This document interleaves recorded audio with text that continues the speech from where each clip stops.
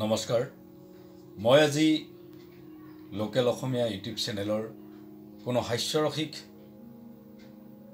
Video লৈ অহা নাই। মই এটি গুৰুত্বপূৰ্ণ কথালৈ দুষাৰমান ক'ব খুজিছোঁ। আমাৰ গোটেই বিশ্বজুৰি এটি মহামাৰীয়ে তাণ্ডৱ সৃষ্টি কৰিছে। আপোনালোকে আটাই জ্ঞাত। এইটো হৈছে কৰোণা ভাইৰাছ। এই মহামাৰী এনেকৈ বিয়পিছে গোটেই বিশ্বতে সন্ত্ৰাসৰ সৃষ্টি হৈ গৈছে। গতিকে সেয়েহে আমাৰ অসমত আমাৰ চৰকাৰে লকডাউন কাৰ্যসূচী হাতত লৈছে। সেয়েহে আমি চৰকাৰৰ প্ৰতি সঁহাৰি জনাই আমি এই লকডাউন কাৰ্যসূচীত তেওঁলোকৰ হাতত হাত মিলাই যাব লাগে। কাৰণ তেওঁলোকে আমাৰ কাৰণে এইবোৰ কৰিছে আৰু এই মহামাৰীত সজাগতাত বাহিৰে আন একো উপায় নাই। কোনো ঔষধে ইয়াত কাম নকৰে। গতিকে সজাগতা বুলি ক'লে আমাৰ বিনা কাৰণত কোনো মানুহ বাহিৰ ওলাব নালাগে। হাত ধুব লাগে ঘনাই হাত ধুব লাগে আৰু গৰম পানী খাব লাগে। আমি এই সজাগতা অৱলম্বন কৰি নিজক বচাব লাগে লগতে সমাজখনক পৰিয়ালটোক সমাজখনক গোটেই ভাৰতবৰ্ষকে এই মহামাৰীৰ প্ৰকোপৰ পৰা ৰক্ষা কৰিব লাগে। সেয়েহে মই আপোনালোকক কৰজৰে প্ৰাৰ্থনা জনাইছোঁ চৰকাৰৰ লগত হাতে হাত মিলাই এই মহামাৰীক এই মহামাৰীক যাতে আমাৰ ইয়াৰ পৰা বিদায় দিব পাৰোঁ আৰু আমি মুক্ত আকাশৰ তলত আগৰ নিচিনা যাতে বিচৰণ কৰিব পাৰোঁ। সেইটোৱে মই মোৰ লোকেল অসমীয়া ইউটিউব চেনেলৰ পৰা আপোনালোকক কৰজোৰে প্ৰাৰ্থনা জনাইছোঁ। ধন্যবাদ। হেল্ল' ফ্ৰেণ্ডছ আপোনালোকে চবে জানে ক'ভিড নাইণ্টিন যিটো ৱৰ্ল্ডলি ভাইৰাছ গোটেই পৃথিৱীত আক্ৰান্ত হৈছে মানুহবোৰ। লগতে আমাৰ দেশতো অসমত চব ষ্টেটছত তো। আমি সজাগ হোৱাটো খুব ভাল। ময়ো ঘৰতে আছোঁ। ঘৰত নিজকে ব্যস্ত ৰাখিবলৈ চেষ্টা কৰিছোঁ। মোৰ নিজৰ ফাৰ্মত গছ পুলি ৰুইছোঁ তাৰপিছত মোৰ নিজৰ যিখিনি পেটছ মই তেখেতসকলৰ নিজৰ টাইম কটাবলৈ চেষ্টা কৰিছোঁ। ইয়াতে মোৰ এটা পেটছ আছে সৰু। আৰু প্লাছ মই ইয়াতে ফাৰ্মত গছ পুলিবোৰ ৰুই আছোঁ। এনেকৈ সৰু সৰু গছ পুলি ৰুই টাইম স্পেণ্ড কৰি আছোঁ ঘৰতে। হয় যিখিনি চলি আছে খুবেই ভাল কৰিছে গভৰ্ণমেণ্টে আমি গভৰ্ণমেণ্টৰ লগত সহযোগ কৰিব লাগিব সেইটো ক্ষেত্ৰত। কিন্তু প্ৰশাসনে যি কৰিছে প্ৰায়খিনি প্ৰশাসনৰ ঠিকেই।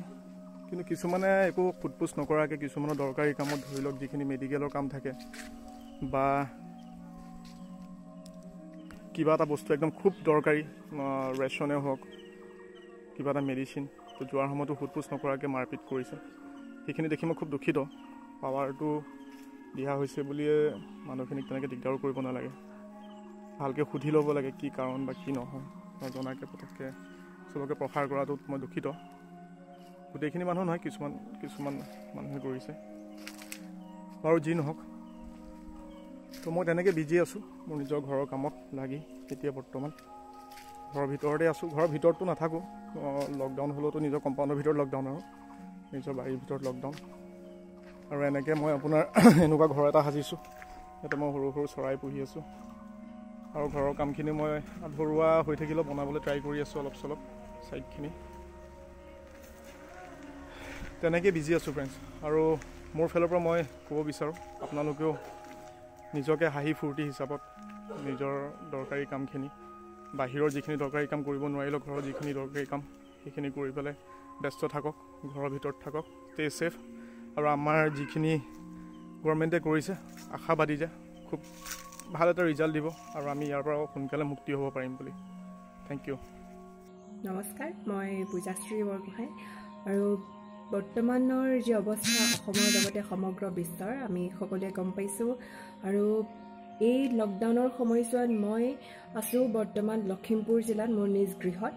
মই কৰ্মসূত্ৰে গুৱাহাটীত থাকোঁ যদিও আজি তিনি চাৰিদিন হৈ গ'ল মই লখিমপুৰত আছোঁ আৰু বৰ্তমান সময়ত মই যিহেতু অভিনয়ৰ লগতে মাষ্টাৰ ডিগ্ৰী কৰি আছোঁ পলিটিকেল ছায়েন্স ডিপাৰ্টমেণ্টত গতিকে মই মোৰ এছাইনমেণ্টৰ কিছুমান কাম আছে সেই কামসমূহ ঘৰলৈ লৈ আহিছোঁ আৰু সেইসমূহ কৰি আছোঁ আৰু লগতে বিভিন্ন ধৰণেৰে লেখা মেলা কাম আৰু ঘৰৰ ঘৰত মোৰ মা দেউতাৰ লগত সহায় সহযোগিতা কৰি আহিছোঁ কৰি আছোঁ আৰু মই বাকী যিসকল আমাৰ জনসাধাৰণ তেওঁলোককো অনুৰোধ জনাওঁ যে লকডাউনৰ সময়ছোৱাত যিহেতু নিজকে আমি কৰোণা ভাইৰাছৰ লগত লগত যুঁজিবৰ বাবে নিজকে যিহেতু পৰিষ্কাৰ পৰিচ্ছন্নতাৰে আমি ৰখাটো খুবেই জৰুৰী গতিকে নিজৰ ঘৰত থাকক আৰু নিজেই ভাল পোৱা কিছুমান কাম কৰি নিজকে সুস্থ সবল কৰি ৰাখক আৰু লগতে সমাজখন আমাৰ দেশখনক যাতে এই এই কৰোণা ভাইৰাছৰ আতংকৰ পৰা মুক্ত কৰি ৰাখে আৰু মুক্ত কৰি ৰখাত আপুনি অকণমান অৰিহণা আগবঢ়ায় তাকে আশা কৰিম। ধন্যবাদ। নমস্কাৰ মই ধীৰাজ দাস কৈছোঁ। এটা কথা আচলতে অসমবাসী ৰাইজৰ আগত ক'বলৈ আচলতে ভিডিঅ'টো বনাইছিলোঁ। আৰু কথাটো হৈছে জানিবলৈ বাকী নাই এই কৰোণা ভাইৰাছ সকলো সমগ্ৰ বিশ্বজুৰি বিয়পি পৰিছে আৰু কৰোণা ভাইৰাছটো কেনেকুৱা ভয়াৱহ আপোনালোকক বুজাবলৈ বাকী নাই। সকলো নিউজ চেনেল বা ছ'চিয়েল মিডিয়াত আপোনালোকে দেখিব পাইছে। গতিকে এটা বহুত ভয়ংকৰ ৰূপ লৈছে মহামাৰী ৰূপ লৈছে যিটো আমাৰ সকলোৰে কাৰণে বহুত এটা ভয়ংকৰ এটা আপোনাৰ বিপদজনক এটা কথা। গতিকে আমি এই সময়ছোৱাত আমি নিজে সচেতন হৈ থাকিব লাগিব। আমি নিজে নিজৰ ফেমিলি নিজক সুৰক্ষিত কৰি ৰাখিব লাগিব আৰু সেইটো কাৰণে আমাৰ ভাৰতবৰ্ষৰ honourable prime minister Narendra Modi তেওঁৰে যিটো ষ্টেপ লৈছে বহুত এটা সুন্দৰ ষ্টেপ এটা লৈছে যিটো লকডাউন আমাৰ একৈছ দিনীয়া লকডাউন দিছে চৈধ্য এপ্ৰিল আপোনাৰ ৰাতি বাৰটালৈকে লকডাউন দিছে। গতিকে এই লকডাউনটো আমি নিজে মানি চলিব লাগিব। আমি সমৰ্থন কৰিব লাগিব এই যিটো ষ্টেপ লৈছে আমাৰ নৰেন্দ্ৰ মোদী ডাৱৰীয়াই গতিকে আৰু বহুত এতিয়া এই লকডাউন দিয়াৰ মাজতো বহুত মানুহে আচলতে গম পোৱা নাই আৰু লগতে কিছুমানে গম পায়ো আচলতে মানি লোৱা নাই। গতিকে তেখেতসকলকো মই বহুত অনুৰোধ জনাইছোঁ যাতে তেখেতসকলে নিজৰ নিজৰ ঘৰত গৈ পেলাই তেখেতসকল লগতে তেখেতসকলৰ পৰিয়ালবৰ্গ সুৰক্ষিত থাকে। তাৰ কাৰণে মই অনুৰোধ জনাইছোঁ যাতে ঘৰত গৈ পেলাই আপোনালোকে শান্তিত থাকে। আৰু হয় বহুত গম পাইছোঁ ব্যৱসায়টো বহুত লোকচান হৈছে। কিন্তু এইটো এটা কথা আছে নহয় জীৱনতকৈতো আৰু কাম ডাঙৰ হ'ব নোৱাৰে। জীৱনটো থাকিলে পিছলৈকে আমি কাম কৰিব পাৰিম আৰু পিছলৈ জীৱনটো কটাব পাৰিম। কিন্তু এই বৰ্তমান সময়ছোৱাত আমি নিজকে সুৰক্ষিত ৰাখিব লাগিব ঘৰত থাকি পেলাই। আৰু আপোনালোক সকলোৱে জানে কাকো নতুনকৈ জনাবলৈ বাকী নাই।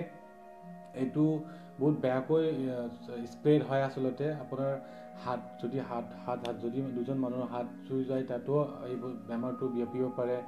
গতিকে আমি এইটো সময়ছোৱাত নিজে ঘৰত থাকি সুৰক্ষিত সুৰক্ষিত থকাটো আমি বেছি দৰকাৰ।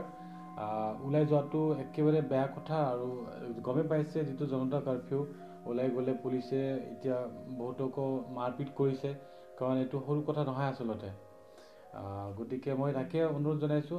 নমস্কাৰ মই ব্ৰজন ভাষণ গোটেই বিশ্বৰ লগতে ভাৰতবৰ্ষ আৰু আমাৰ অসমত বৰ্তমান পৰিস্থিতি সকলোৱে জানেই। সকলো গমেই পাইছে কৰোণা ভাইৰাছক লৈ যি আতংক চলি আছে। তো বেলেগ একো ক'ব নাযাওঁ বাকীখিনি সকলোবিলাক মানুহে আমাৰ জানেই কৰোণা ভাইৰাছক কেনেকৈ ৰোধ কৰিব পাৰি কেনেকৈ বাধা দিব পাৰি। চ' সেয়েহে মোৰ ফালৰ পৰা মই এটা অনুৰোধ কৰোঁ যে এই ভাইৰাছটোক ৰোধ কৰাৰ এটাই উপায় সেই উপায়টো হৈছে সচেতন। চাফ চিকুণকৈ থাকক সচেতন থাকক। যেতিয়ালৈকে এই ভাইৰাছটো নাশ নহয় তেতিয়ালৈকে নিজকে ঘৰত আবদ্ধ কৰি ৰাখক। গেডাৰিঙৰ পৰা আঁতৰত থাকক হাতখন বাৰে বাৰে ধৰক সেইখিনি কথা সকলোৱে জানে। তাৰোপৰি মই ক'ব বিচাৰিছোঁ যে আমাৰ প্ৰশাসন আৰু চৰকাৰে যিখিনি নিয়ম আমাক বান্ধি দিছে সেইখিনি যাতে আমি ভালকৈ পালন কৰোঁ। তাৰ বাবে মই অনুৰোধ জনাইছোঁ সমূহ ৰাইজক যে চৰকাৰ আৰু প্ৰশাসনে আমাক যিখিনি নিয়ম বান্ধি দিছে সেইখিনি যাতে আমি সুচাৰুৰূপে পালন কৰোঁ আৰু তেখেতসকলক সহযোগ কৰোঁ। নিজেও সাৱধান হৈ থাকোঁ আৰু বেলেগকো আমি সজাগ কৰাওঁ সাৱধান থাকিবলৈ। আজি গোটেই দিনটো ঘৰত আছোঁ তেনেকৈ আমি আকৌ একৈছ দিন থাকিব লাগিব। একৈছ দিন আমি যিমান দিন পাৰি আমি থাকিম বিপদ হোৱাত আগত আমি সজাগ হ'ব লাগিব। সেইবাবে অনুৰোধ কৰিছোঁ যে আমি যিমানখিনি পাৰোঁ একমাত্ৰ কথা প্ৰশাসন আৰু চৰকাৰৰ লগত আমি সহযোগিতা ৰাখিব লাগিব আৰু এই কৰোণা ভাইৰাছক আমাৰ অসমৰ পৰা উঘালি পেলাব লাগিব। ধন্যবাদ।